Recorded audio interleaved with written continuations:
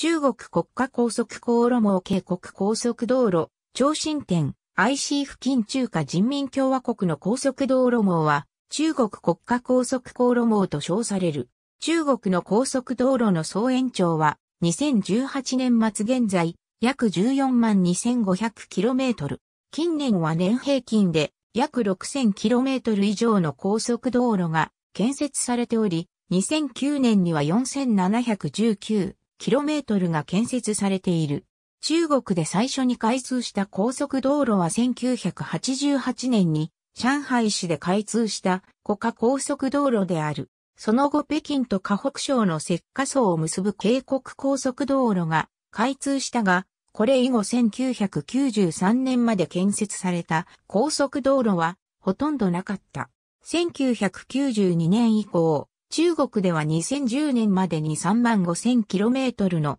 中国国家高速航路網を構築するという計画が立案、実施され、5つの南北方向の道路と7つの東西の道路からなる12の高規格幹線道路の構築が目標とされた。1997年に起きたアジア通貨危機で成長率目標の8%を割ったことで高速道路網などのインフラ整備は内需拡大策として重視されるようになり、翌1998年から長期建設国債の大量発行で促進された。計画は前倒しされ2009年末にはすでに6万 5000km の高速道路を含む382万 km の道路が完成していた。2005年1月13日、交通部部長であった長春県は5縦7横構想の次の構想として今後30年間で人口20万以上のすべての地方中核都市を相互に連絡する8万 5000km の高速道路のネットワークを建設すると発表した。それは北京から放射状に伸びる7つの路線と国内を南北に結ぶ9路線、東西に結ぶ18路線からなる構想で、全長のうちの6万 8000km は幹線道路、1万 7000km が5つの地方環状道路である。また2つの並行ルートと30個以上の相互、接続路線が含まれる。この構想では3万 2000km の高速道路が、下中及び西部地方で構築されることになっている。1989年1月1日の段階で 147km のみの整備にとどまっていたが、2009年12月31日には総延長6.5万 km の高速道路網が整備され、2007年の1年間だけで日本の高速道路の総延長に匹敵する 8300km が建設され、2011年にはアメリカ合衆国の週間高速道路網を超えて、総延長は世界最長になり、2016年には総延長13万 km を超えた。高速自動車国道ネットワーク構築の総予算は2兆元と見積もられている。2005年から2010年までの年間投資額はは約1400億元から1500億元。2010年から2020年までの年間投資額は約1000億元で推移するとされる。建設資金は車両にかかる車両購入税、通行料金、地方税、詳細、国内投資及び海外からの投資が充当されている。他国の高速道路システムと異なって、NTHS や7918構想の道路の大部分が小政府との契約に基づき、民間企業が投資する有料道路となっている。民間企業は債券と株式を通して資金調達を行い、通行料金により投資回収を行う。中国共産党と国務院は有料道路の建設資金を賄うためにガソリン税を課す法案を全国人民代表大会に提出したが、これは否決されている。渓谷高速道路の看板、旧表記で人種フリーウェイとしている。中国ではかつて、モーターウェイもハイウェイも合わせてフリーウェイと称した。フリーとは交通が自由に流れている、すなわち交差地点は各車線が分離され、高速道路上の交通は、信号機や一時停止標識のような交通制御施設によって規制されないことを意味している。しかし多くの人々が通行料金を徴収する高速道路であるにも、かからず、フリーを無料であると誤解したため1990年代にエクスプレスウェイの名称で統一された。現在使用されるハイウェイは高速道路を意味しない単語として使用されている。また、中国では国家高速と小高速、上司快速航路という区分も存在する。三者はほぼ同一であるが、上司快速航路は主に都市部に整備された高規格道路である。本文中では三者を高速道路として扱うものとする共造高速道路の規制速度標識、最高速度と最低速度が併記されている。中華人民共和国道路交通安全法は2004年5月1日に全国の高速道路の制限速度を時速 110km から時速 120km に改定した。しかし、地方の高速道路では制限速度改定に時間がかかっている箇所もあり一部では従来の時速 110km となっている。最低速度制限は時速 70km であるが、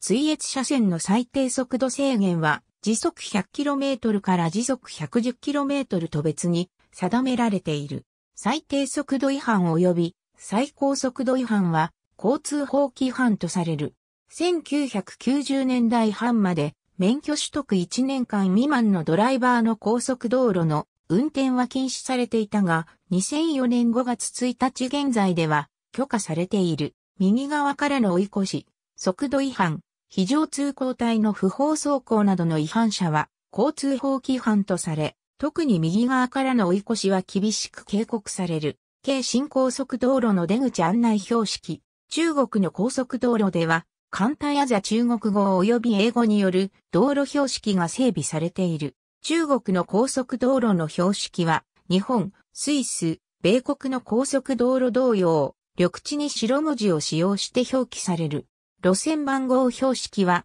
上部に赤の背景に白文字で、国家高速、下部に緑の背景に白文字で、路線番号を示す GXX が記載されている。インターチェンジの案内標識はそれぞれ出口の2000メートル、1000メートルと500メートル手前、出口の直前、出口自体にあり、インターチェンジのかなり手前から表示されている。各インターチェンジには、次のインターチェンジまでの距離の案内標識もある。サービスエリア及びパーキングエリアは、交通量の多い高速道路では高密度に設置されており、特にガソリンスタンドの密度は高い。標識は、インターチェンジ、料金所、サービスエリア、パーキングエリア、ジャンクションが代表的なものであるが、車間距離確認の標識も設置されている。2秒ルールを保持するためのものである。速度監視区間における取締り箇所には、多くの場合標識が設置されているが、速度取締り装置のダミーも存在している。またドライバーに減速を促す、標識、販路に関する警告、非常通行帯の通行の禁止、あるいは路面の異常に関する標識が存在する。また追い越し車線を示す標識も設置されている。英語表記は大部分は問題ないが時々誤った表記も見られる。高速道路ではデジタル表示器の整備が進められ、スピード超過に対して注意喚起、道路工事状況、交通渋滞情報、天候情報、迂回路などを表示する。中国の高速道路のインターチェンジには番号が割り振られており、通常起点を1番とした投資番号となっている。しかし渓谷高速道路では、河北省に0番インターチェンジが存在する。インターチェンジの一部には補助インターチェンジを併設しているところもある。高速道路はほぼすべて有料である。料金は 1km あたり約0.5中国元で、最低料金は距離に関わらず適用される。高速道路による標準的な金額より高い場合や安い場合も存在する。通行料金にかからず、高速道路は高規格で建設され、また渋滞の発生とも無関係である。渓谷高速道路の当店 IC の料金表。高速道路計画は交通部により計画建設される。中国の高速道路は小政府による直接投資を採用せず、銀行あるいは予定される通行料金収入を担保に、証券市場より資金を調達した営利の企業による建設、運営される。この方式を採用する理由としては、地方政府の税収が限定的であり資金調達能力に限界があるためである。また、高速道路建設は中国共産党と国務院の政策が不一致となった稀有な例である。1990年代末にガソリン税によって河野幹線道路の建設資金を調達する立法化が求められたが全国人民代表大会によって否決されている。ほとんどの高速道路はカード方式を採用している。高速道路への入り口では入線カードがドライバーに引き渡される。支払われる料金は高速道路から出るときに運転手が出口料金所に入線カードを返却する際に走行距離に依拠し決定される。K2 高速道路などの一部の高速道路では定額制を採用し増加する交通流量に対応しているが収入面で不利とされる。また2019年度内にはすべての高速道路インターチェンジで ETC システムが利用可能になる予定である。現在、通行料金の支払いには、現金のほか、QR コードを使用するアリペイや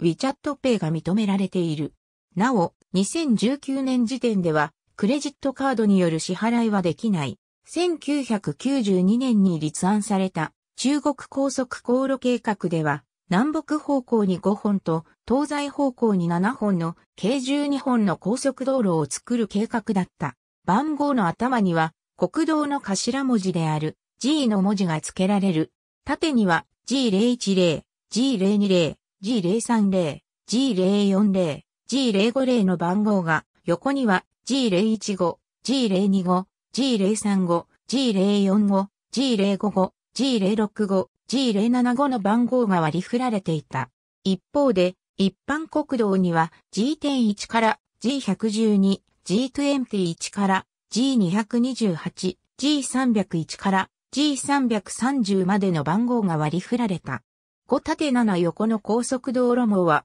2005年の7918網の発表によりそれらの一部へと再編され、解消した。2005年1月13日、交通部が交付した国家高速航路網機画で採用された放射状高速道路と縦横の高速道路網を組み合わせた整備計画であり、首都からの放射線7本、9本の南北縦貫線、18本の東西横断線からなることから、7918網と称された。番号の頭には、国道の頭文字である G の文字が付けられる。放射線には1から9までの番号が、南北方向には東から順に11から89までの奇数番号が、東西方向には北から順20から90までの偶数番号が振られている。91から99までの数字は各地方を環状に連絡する道路に振られる。